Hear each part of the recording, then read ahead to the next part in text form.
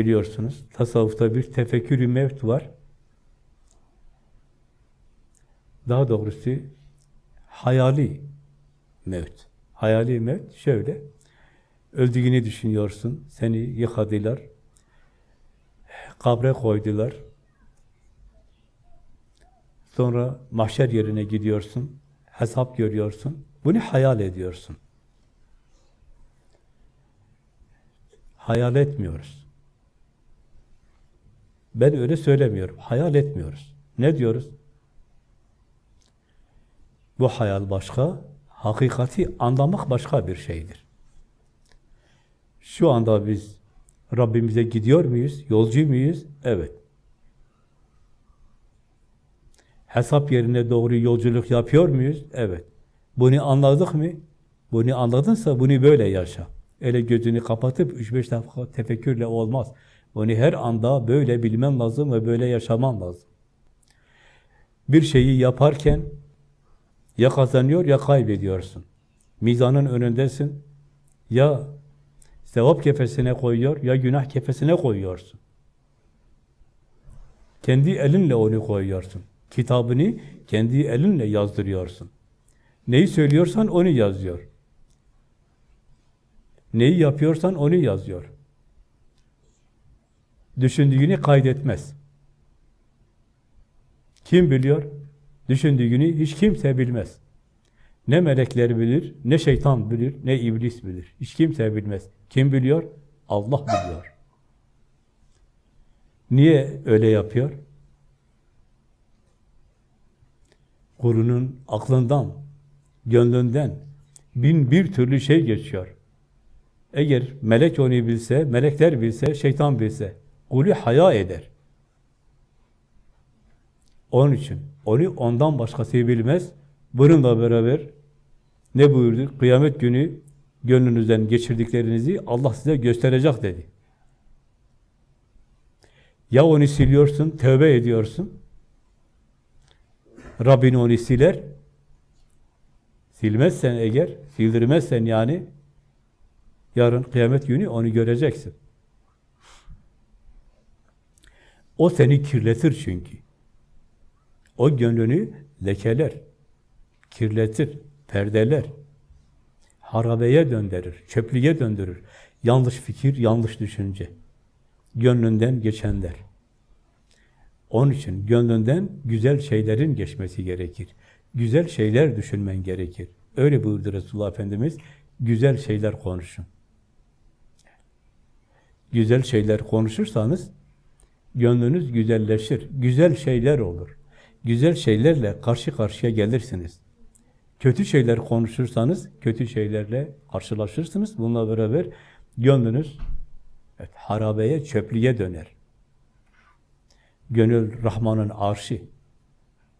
Orayı kirletme. Yanlış fikirlerinle, düşüncelerinle, konuşmalarınla, halinle, tavrınla ne yapıyorsun? Kendini kirletiyorsun. Bu bir şey olmaz demeyelim. Yanlış konuşanların yanında, yanlış düşüncelerin, düşünenlerin yanında olunca, bulununca ne olur? O seni kirletir bu sefer. Kendini koruman çok zor bir şeydir. Onun için güzel düşünen, Rabbini zikreden, Rabbini seven, Rabbini isteyen, Rabbine davet eden, kulluğa davet eden, insanlarla, arkadaşlarla beraber olunca gönlümüz temizlenir. Dünyayı isteyen, mevki makam isteyen, düşmanlık yapan, fitne çıkaran, dedikodu yapan, iftira atan, bununla beraber tefrika çıkaran, ifsad eden, bozan, hata arayan, kusur arayan, kötüleyen, yeren insanlarla beraber olunca gönlün cehenneme döner. Böyle bir durumda ne yapman lazım? Kendini koruman lazım, gönlünü kapatman lazım. Böyle bir yerde bulunduğumuzda bize düşen nedir? Hemen havalanmaktır, uçmaktır. Rabbimize uçmaktır. Havada durmaktır. Rabbimizi zikretmeye, tesbih etmeye, hamd etmeye, La ilahe illallah demeye başlamaktır. Bu tavırda bulunanlardan dolayı da Allah'a sığınmaktır. Sana sığınıyorum ya Rabbi demektir. Edepsiz kul, hayasız kul, utanmaz kul, Rabbini unutmuş kul, Rabbinden yüz çevirmiş kul, Rabbini yok sayan bir kul. Kulunla muhatapsın, onun yanındasın.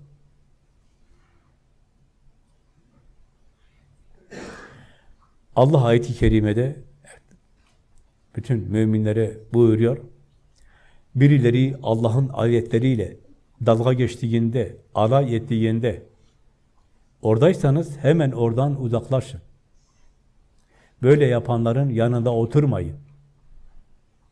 Onlar başka bir söze geçinceye kadar evet, onlardan uzak durun, uzaklaşın onlardan.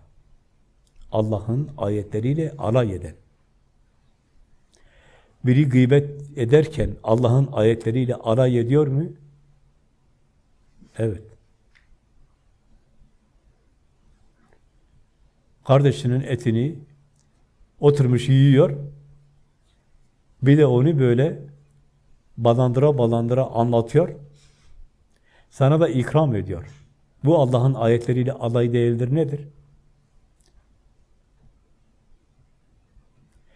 Kötülüyor, yer yiyor, insanı cehenneme göndermeye çalışıyor. Allah senin peygamberin alemlere rahmettir, hidayetçidir, müjdecidir, uyarıcıdır dedi. Şahittir dedi. Nur saçan kandildir dedi. Sen böyle mi ona tabi oldun? Tam ters tarafa durmuşsun. Alay ediyorsun. Alay ediyorsun. Yaptığının bir de doğru olduğunu söylüyorsun. Allah'ın Resulü yanlış yaptı diyorsun. Ben doğru yapıyorum diyorsun. Allah yanlış söyledi diyorsun. Doğruyu ben söylüyorum diyorsun. Bundan daha büyük alay etmek var mıdır? Onun için Resulullah Efendimiz sahabeden Ebu Zer'e söylüyor, Ya Ebu Zer, diline dikkat et. Diline sahip ol. İnsanların çoğu dilinden dolayı cehenneme gidiyor. Diyor Ebu Zer dedi, nasıl yani ya Resulallah? Dilinden dolayı insan nasıl cehenneme gidiyor? Dilinden dolayı imanını kaybeder. Dilinden dolayı Allah'a karşı hayasız olur, edepsiz olur, haşyetsiz olur, imanını kaybeder. Rabbinin sevgisini, yakınlığını kaybeder.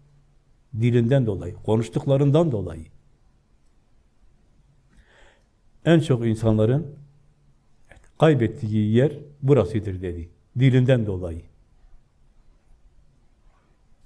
Onun için ne buyurdu Resulullah Efendimiz? Ya hayır söyleyin ya da susun.